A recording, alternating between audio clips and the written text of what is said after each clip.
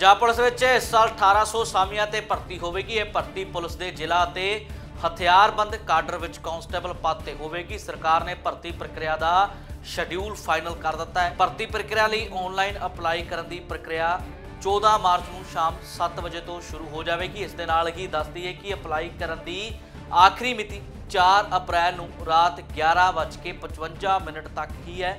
ਇਹ ਭਰਤੀ ਕੇਂਦਰੀ ਕਾਂਸਟੇਬਲ ਭਰਤੀ ਬੋਰਡ ਪੰਜਾਬ ਪੁਲਿਸ ਵੱਲੋਂ ਕੀਤੀ ਜਾਵੇਗੀ।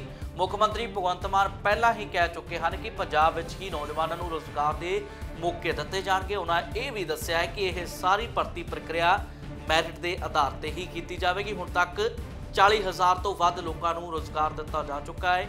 ਪੰਜਾਬ ਪੁਲਿਸ ਨੇ ਇਸ ਭਰਤੀ ਪ੍ਰਕਿਰਿਆ ਨੂੰ ਸੁਚਾਰੂ ਢੰਗ ਨਾਲ ਨੇਪਰੇ ਚਾੜਨ ਲਈ ਕਈ ਉਪਰਾਲੇ ਕੀਤੇ ਨੇ, ਭਰਤੀ ਪ੍ਰਕਿਰਿਆ 'ਚ ਆਨਲਾਈਨ ਅਪਲਾਈ ਕਰਨ ਸਮੇਂ ਕਿਸੇ ਨੂੰ ਕੋਈ ਵੀ ਪਰੇਸ਼ਾਨੀ ਨਹੀਂ ਆਉਣੀ ਚਾਹੀਦੀ।